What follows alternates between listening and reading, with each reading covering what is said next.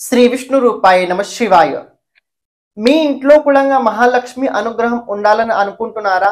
అదే రకంగా మీరు చేసిన అప్పుల నుంచి బయట పడాలని చాలా ప్రయత్నిస్తున్నారా ఎంతో ప్రయత్నించినా కూడా డబ్బు ఇంట్లో నిలవట్లేదా? దాంతో పాటు దాంపత్య జీవితంలో ఎప్పుడు ఏదో ఒక రకమైన గొడవలు జరుగుతున్నాయా?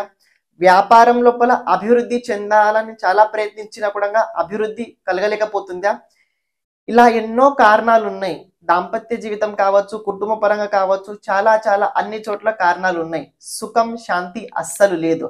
కాబట్టి ఈ దీపావళి పండుగ రోజున ఏకాదశి ద్వాదశి అదే రకంగా ధనత్రయోదశి ఈ మూడు రోజుల లోపల చేయబోయిన అష్టలక్ష్మి మహా యజ్ఞం ఏదైతే ఉందో ఇందులో కనుక మీరు పాల్గొ పాల్గొనాలనుకున్నట్లయితే తప్పకుండా పాల్గొనండి. అలాగే దాంతో పాటు కింద ఇచ్చిన నంబర్ పైన కాంటాక్ట్ చేయండి. దీపావళి పండుగ రోజున ప్రత్యేకంగా మీకోసం చేయబోయే ఒక బహుమానం మీకోసం ఉండబోతుంది. ఎవరైతే ఈ అనుష్ఠానం లోపల మహాయజ్ఞంలో పాల్గొంటారో వాళ్ళందరికీ ఒక మహా బహుమానం అయితే దీపావళి పండుగ రోజున నిర్మితం చేయడం జరగబోతుంది. శ్రీమాత్రి నమ. శ్రీ విష్ణు రూపాయి నమ శివాయ. శ్రీ విద్య ప్రేక్షకులకి రోజు స్వాగతం. ఈ రోజు మనము శని మార్గి గతి ప్రభావం గురించి తెలుసుకోబోతున్నాము. Two thousand twenty three eighteenth జనవరి రోజున శనిదేవుడు కుంభరాశిలో వచ్చాడు. అదే రకంగా జూన్ లోపల వక్రగతి అయితే పొందాడు. రేపు నవంబర్ రోజున అంటే సెకండ్ నవంబర్ రోజున శనిదేవుడు అంటే వక్రగతిని వదిలేసి మార్గి గతి లోపల రాబోతున్నాడు. ఈ మార్గి గతి ప్రభావం కనుక చూసినట్లయితే ప్రతి ఒక్క రాశి వారికి వేరే వేరేలా అయితే తప్పకుండా ఉండి తీరుద్ది. కానీ ఒక విషయం ఏంటంటే ఇక్కడ తెలుసుకోవాల్సింది శనిదేవుడు ఎప్పుడైతే వక్రగతి పొందుతాడో ఆ సమయకాలం లోపల కొన్ని రాశుల వారికి చాలా అద్భుతమైన పరిహార పరిణామాలు అయితే చూసే ఉంటారు. ఎవరి జాతకంలో శనిదేవుడు వక్రగతిలో ఉన్నాడు అదే రకంగా చంద్రునితో ఎలాంటి రకమైన సంబంధం లేదు. అలాంటి జాతకులకి ఈ వక్రగతి సమయకాలం చాలా అనుకూలంగా అయితే వెళ్ళిపోయింది గడిచిపోయింది. కానీ ఎవరి జాతకంలో అయితే శనిదేవుడు చంద్రునితో పాటు సంబంధం ఉందో మార్గ అవస్థలో ఉన్నాడు అలాంటి జాతకులకి ఈ వక్రగతి సమయం చాలా ప్రతికూలంగా అయితే ఉంది. చాలా ఇబ్బందులు అయితే మీ జీవితంలో మీరు చూసే ఉంటారు. ఇప్పుడు శని శనిదులు మార్గీ ప్రభావం ఎవరు ఏ రాశుల వారికి ఎలా ఉండబోతుంది? ఈ మార్గీ ప్రభావం లోపల ప్రత్యేకంగా ఎలాంటి జాగ్రత్తలు వహించుకోవాలి? దాని గురించి ఈరోజు మనము తెలుసుకోబోతున్నాము. కన్యారాశి. కన్యారాశి వారికి గనుక చూసుకున్నట్లయితే షష్ఠ స్థానంలో ఉన్న శనిదేవుడు మూల త్రికోణ రాశిలో ఉన్న శనిదేవుడు వక్రగతిని వదిలేసి మార్గి గతిలో రావడం వల్ల ఈ ప్రభావం కనుక మీరు చూసుకున్నట్లయితే ఈ కన్యారాశి వారికి అనుకూలంగానే ఉండబోతుంది. మరి అంత భయపడే అవసరం అయితే అస్సలు లేదు. కాస్త కొన్ని విషయాలు జాగ్రత్తగా ఉండాలి. భయపడే అవసరం లేదు జాగ్రత్తగా ఉండాలి. ఎలాంటి విషయాలు జాగ్రత్తగా? ఈ సమయకాలం లోపల మీరు ఎవరికైనా డబ్బు ఇవ్వాలనుకున్నట్లయితే ఇవ్వండి. తిరిగి వచ్చే అవకాశాలు కనిపించట్లేదు. రెండో విషయం షష్ఠ స్థానంలో శనిదేవుడు అదే రకంగా ఎప్పుడైతే శనిదేవుడు వృషభ రాశిలో ప్రవేశిస్తాడో ఆ సమయకాల లోపల కాస్త కార్యక్షేత్రాల లోపల అనుకోకుండా కొన్ని తప్పుడు వ్యవహారాలు మీతో జరిగే అవకాశం ఉండబోతుంది. థర్డ్ పాయింట్ ఇత పూర్వం ఏదైనా రోగం వ్యాధి కనుక ఉన్నట్లయితే అందు నుంచి కాస్త బయటపడే అవకాశం అయితే ఉంది. మీరు ఏదైతే ట్రీట్మెంట్ తీసుకుంటారో తీసుకోండి పర్వాలేదు.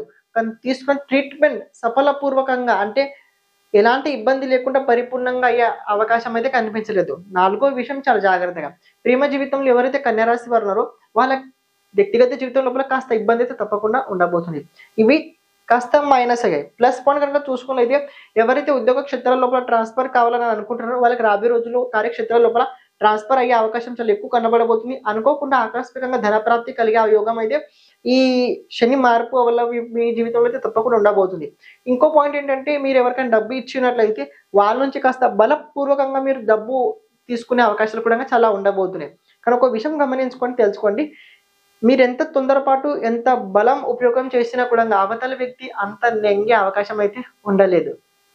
శని మూడో దృష్టి అష్టమ స్థానంపై ఉండడం వల్ల కాస్త ఆరోగ్యపరంగా జాగ్రత్తగా చూసుకోవడానికి ప్రయత్నించండి. అంటే మీ ఆవిడ కావచ్చు మీ ఆయన కావచ్చు వాళ్ళ వ్యక్తిగత నిర్ణయాల పట్ల మీరు చాలా సమర్థించి ఉండే అవకాశం చాలా ఎక్కువ అయితే కనిపించట్లేదు. ఎందుకంటే వాళ్ళ నిర్ణయాలు అదే రకంగా మీ నిర్ణయాలు చాలా భిన్నత్వంలో ఉండడం వల్ల కాస్త దాంపత్య జీవితంలో రాబోయే రోజుల్లో అనుకోకుండా చిన్న చిన్న కలహాలు కలిగే అవకాశం అయితే ఉంది. కానీ ఈ కలహాల వల్ల కొత్త కొత్త వ్యక్తుల పరిచయం ఏదైతే కలుగుద్దో మీ జీవితం లోపల ఇది మీకు కొన్ని విషయాల లోపల కొన్ని సమస్యల నుంచి బయటపడి అవడానికి చాలా సహయోగం అయితే తప్పకుండా అయి తీరుద్ది. శని సప్తమ దృష్టి ద్వాదశ స్థానం పైన ఉండడం వల్ల విశేషంగా ఏంటంటే మీకు కోర్ట్ కేసు పోలీస్ కేసు ముందు నుంచి ఎలాంటి కేసులు కనుక ఉన్నట్లయితే అటుపక్క నుంచి కాస్త అనుకూలంగా అయితే కనబడబోతుంది. ఎవరి సంబంధం అయితే అత్త అదే రకంగా మావయ్య గారితో సంబంధం అంత బాగాలేదో అలాంటి జాతకులకి రాబోయే రోజుల్లో సంబంధం చాలా బలంగా ఉండే అవకాశం అయితే కనబడబోతుంది. ఇంకో విషయం ఏంటంటే శని టెన్త్ దృష్టి పరక్రమ స్థానం పైన ఉండడం వల్ల ఎవరైతే కొత్త కొత్త స్కిల్స్ డెవలప్ చేసుకోవాలనుకుంటున్నారో వాళ్ళు డెవలప్ తప్పకుండా చేసుకుంటారు. పేరు పదవి ప్రతిష్ట డబ్బు అన్ని సంపాదించుతారు. కానీ అవతల వ్యక్తి మనసులో స్థానం సంపాదించడం కాస్త కొన్ని విషయాల లోపల రాబోయే రోజుల్లో కష్టమైతే కనబడబోతుంది కన్యారాశి వారికి. కాబట్టి వ్యక్తిగత జీవితంలో పర్వాలేదు బాగానే ఉండబోతుంది. నేను చెప్పిన ఈ విషయాల్లో కాస్త జాగ్రత్తగా ఉన్నట్లయితే మిగతాన్ని ఆటోమేటిక్గా జరుగుతుంటుంటాయి. ఎప్పుడైతే దేవుగురు బృహస్పతి వృషభ రాశిలో ప్రవేశిస్తాడో అప్పుడు మీ జీవితం లోపల ఒక అనుకున్న సాధించే అవకాశం చాలా బలంగా అయితే ఉండబోతుంది. వ్యాపారస్తులు కావచ్చు ఉద్యోగస్తులు కావచ్చు.